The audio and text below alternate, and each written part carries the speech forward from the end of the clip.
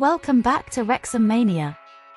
Today, we're diving into the latest action from our very own Red Dragons as they wrapped up an incredible season in style against League Two rivals Stockport County. In a touching show of sportsmanship, Wrexham gave the League Two champions a guard of honour before their clash at the racecourse ground.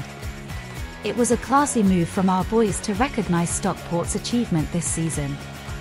Despite falling behind early to a goal from Stockport's Connor Lemonheigh-Evans, Wrexham rallied back with determination. Ollie Palmer swiftly equalised just after the break, setting the stage for a thrilling finish. And what a finish it was! With the game seemingly heading for a draw, Andy Cannon struck a late winner, clinching a second-place finish for Wrexham in the division.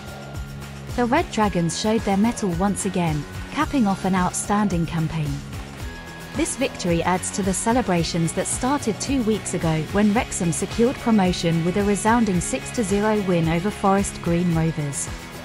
It's been a season to remember for our club, especially under the ownership of Hollywood stars Ryan Reynolds and Rob McElhenney.